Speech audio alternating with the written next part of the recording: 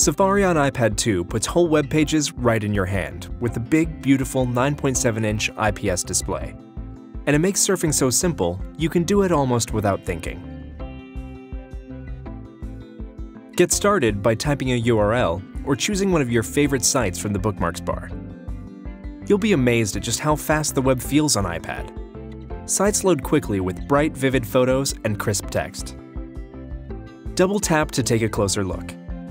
Navigating on iPad is as easy as touching. To open a link, just tap on it, or tap and hold it for more options. When you have a multi-touch display this large, you feel like you're actually holding the web right in the palm of your hand.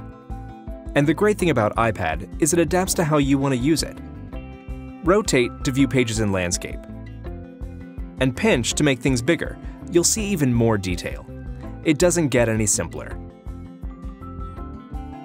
Tap the plus to add a bookmark of the page you're on, or easily add any page directly to your home screen. So it's easy to get to all of your favorite sites later on with just a tap.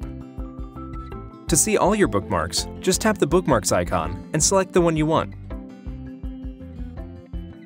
When you tap here, you can see all your open web pages as thumbnails. Delete the ones you don't want, or tap the one you do, and iPad takes you right there.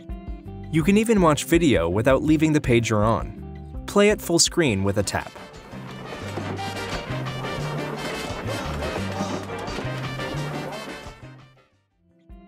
With Safari on iPad 2, the web feels more intimate, more immersive, and more fun than ever before.